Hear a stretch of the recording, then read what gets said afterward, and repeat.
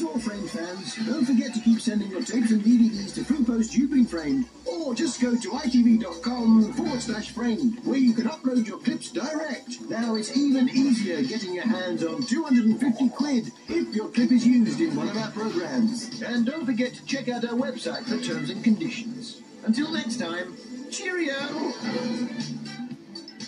Later, and Antony Cotton plumbs new depths, and I mean that literally. He's in for a crude awakening in his trial at 9.30 tonight. I'm a celebrity. Get me out of here.